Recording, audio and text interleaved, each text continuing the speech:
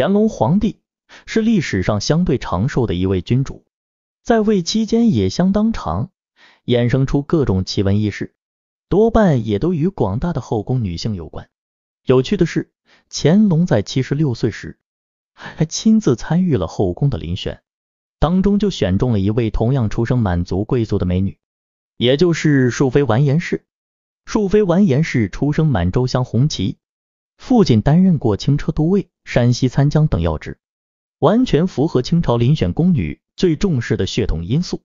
关于淑妃完颜氏的一大奇闻，就是她的入宫时间非常特别。是乾隆已经七十六岁时选入的，也可说是乾隆最后选入的美女。不过都超过七十岁，为何还选新后宫？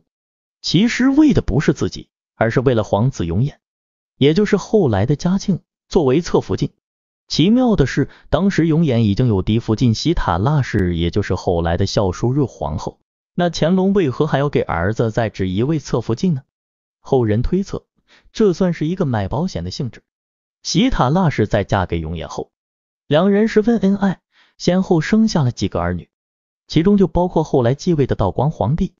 但是乾隆五十年时，喜塔腊氏经历了一次小产，没想到对喜塔腊氏的身体造成了巨大损耗，最后在医疗不发达的情况下，早早就过世。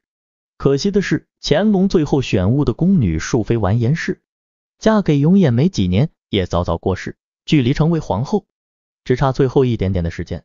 不过，关于完颜氏的记载却十分神秘，仅有出生的年份一七七二年，去世的具体时间则没有记载，成为清朝的一项奇闻。感谢收看，欢迎订阅、按赞、分享。